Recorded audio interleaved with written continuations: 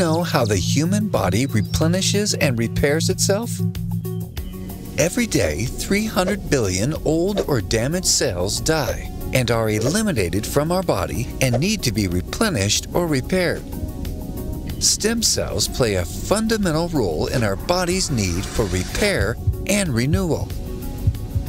Unlike other cells in our body, a stem cell has the unique ability to differentiate itself into other types of cells.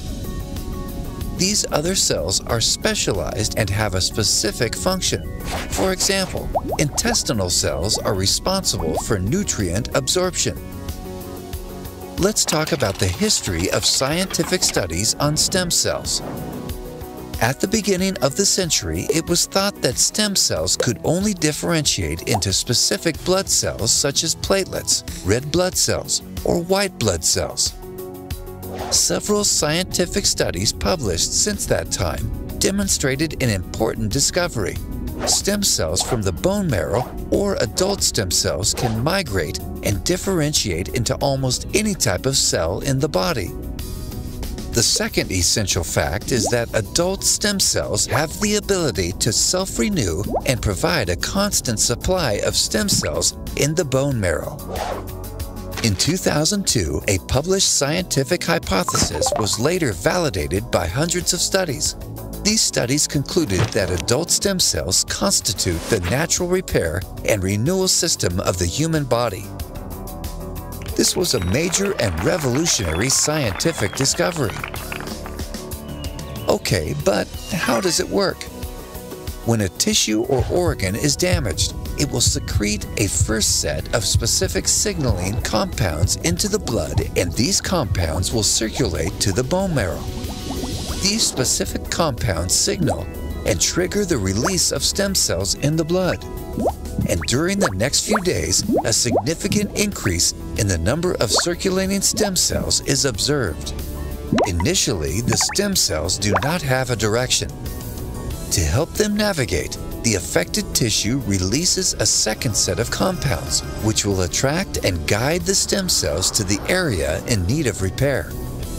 When the stem cells connect with the signaling compounds in the capillaries and microvessels of the damaged tissue, the stem cells migrate into the tissue and begin multiplying and differentiating into the specific tissue for its repair and renewal. Stem cells not only repair damaged tissue every day, but on a smaller scale circulate throughout the body to renew and replenish old and dying cells to support optimum health. It is through this mechanism of action that stem cells are considered responsible for the natural repair and renewal system of the entire human body.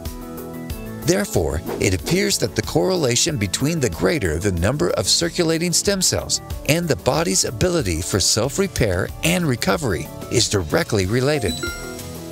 In fact, it has been shown that people who release a large number of circulating stem cells after a stroke have a better recovery and a better post-stroke clinical recovery.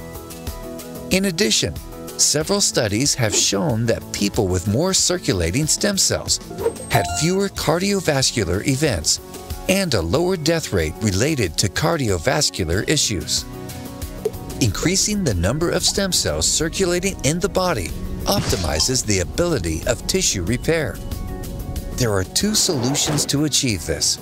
First solution, a physician obtains a sample of a patient's stem cells, cultivates them in the laboratory, and re-injects the cells into the patient. A second and more natural preventative is to increase the release of our own stem cells in the body. This is called the mobilization of endogenous stem cells. In summary, there are three complementary and essential steps necessary for repair and renewal. 1 the release of stem cells from the bone marrow. 2. Stem cell circulation in the blood. 3. Migration into the affected tissue. The benefits of the two methods have been demonstrated in hundreds of publications on a variety of conditions. In conclusion, like the circulatory system, the digestive system, or the respiratory system, promoting good health and the survival of the entire body stem cells are recognized as a new fundamental system of the human body. Therefore, supporting the natural role of adult stem cells contributes to overall health maintenance.